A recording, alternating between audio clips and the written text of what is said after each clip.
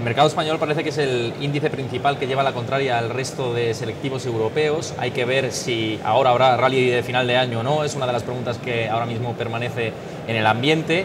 Y para hablar de todas estas cuestiones de actualidad, contamos como siempre con Sara Carbonell de CMDC Markets. ¿Qué tal? Buenos días. Buenos días. Como decía, el IES 35 parece que no termina de salir del atolladero, ya lleva bastante tiempo jugando con nosotros en estos términos. Eh, es el que se queda más rezagado de todo, de todo el resto de índices europeos. Y la pregunta es, ¿cuál es su aspecto técnico en estos momentos y qué es lo que hay que vigilar para el índice? Bueno, realmente desde un punto de vista estrictamente técnico, porque desde la parte más macro y fundamental eh, suele ir un poco por libre, efectivamente, respecto a los índices europeos, porque depende mucho de, pocas compañías, es un índice más concentrado. Hemos visto todos los resultados a la banca que han influido mucho en, la evolución de la semana pasada.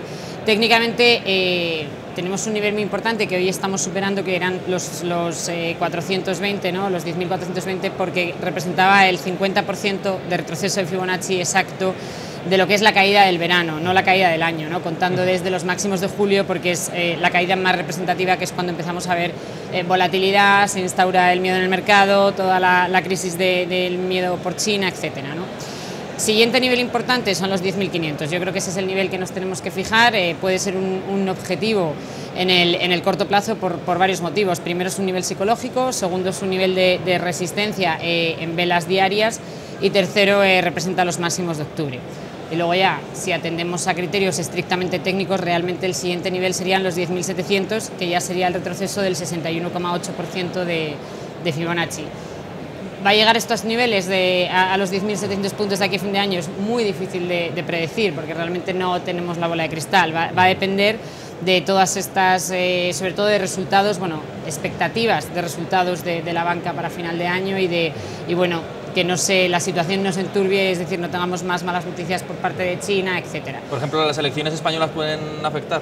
Por supuesto que pueden afectar, efectivamente. Es decir, ahí es donde está la parte más macro, ¿no? Eh, y cuando ya olvidamos la parte técnica, nosotros tenemos unas elecciones que en el resto de países no, y que además este año cobran, eh, son muy importantes. Tenemos aparición de nuevos partidos, algunos más radicales o percibidos como más radicales, no solo por, por, eh, por nosotros, sino por el, el, resto de Europa, y por supuesto que pueden afectar. Por eso digo que en, en circunstancias normales, si no hay nada que lo enturbie, podría ser un nivel objetivo a conseguir para posiciones alcistas los 10.700, pero ojo que estamos en entornos de mucha volatilidad y con asignaturas pendientes en, el caso de nuestro país, como bien tú dices, eh, como pueden ser las elecciones. Por tanto, como se suele decir, partido a partido en este sentido. Exactamente, eh, efectivamente. Y bueno, pasando, como decías, al eh, sector bancario, que está pesando bastante y de manera bastante negativa en los últimos días.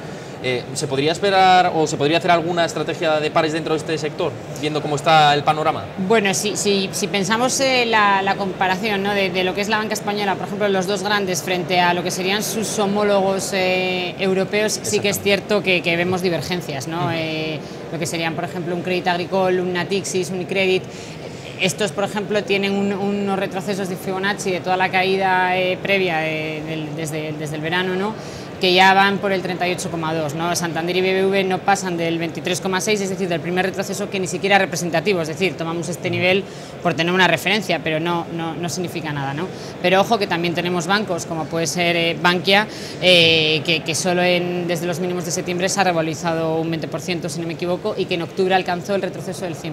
¿no? Eh, si se quieren hacer estrategias de pares, para cubrir una, una, cartera, pues sí, puede ser una estrategia. Además, hay productos que lo permiten, como por ejemplo pues los CFDs ¿no? Eh, y a bajo coste. Eh, por ejemplo, sería como largos de Natixis, cortos de Santander, para neutralizar la pérdida en caso de que Natixis eh, pues no continuase con, con ascensos.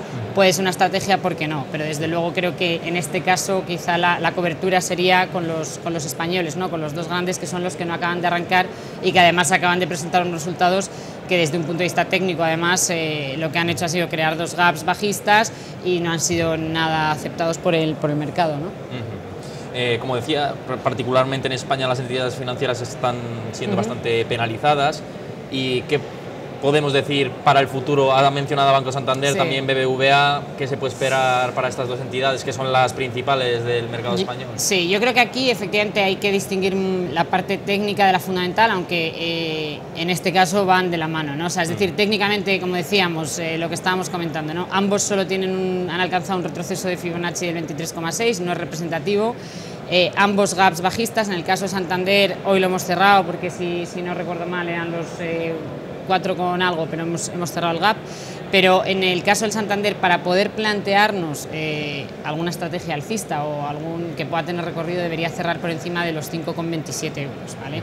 de los cuales bueno, pues todavía queda recorrido. En el caso de BBVA, este nivel son los 8 euros, pero en el caso de BBVA además tenemos divergencia, porque si cierra por encima de estos 8 euros, aún no está cerrando este gap bajista de la semana pasada. Para cerrarlo tenía que cerrar por encima de los 8,10, ¿no? con lo cual estamos en una situación todavía de prudencia. Y luego, desde el punto de vista fundamental, eh, yo creo que la situación es mejor para BBVA, a pesar de las pérdidas eh, que hemos visto en los últimos resultados, que vienen de la mano de Garanti, etcétera. Eh, pero bueno, creo que al menos tiene una estrategia pues más, una diversificación, perdón, con una exposición mayor en México, Santander ya sabemos que la tiene en Brasil. Ojo, que ambos han tenido una cosa positiva en los resultados que a mí me ha gustado, que es el descenso de la morosidad y el incremento del margen de intereses.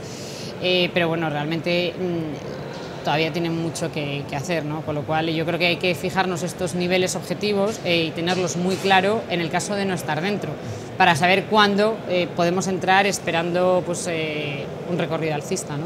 Otra de las acciones más comentadas en los últimos días es Abengoa, además es uno de los principales chicharros del, del mercado español, sobre todo ayer la vimos rebotar fuertemente después de conocer que se iba a financiar a la filial norteamericana, hoy también está, estaba subiendo con bastante fuerza. ¿Se podría hacer alguna, algún tipo de estrategia para este valor una vez que ha recuperado la europolación o, o mejor descartarlo? Yo prefiero ser prudente completamente. Estamos hablando de una acción que eh, desde un punto de vista técnico tiene una volatilidad en los dos últimos meses de cercana al 90%, en los últimos seis, si no me equivoco, ronda al 100%.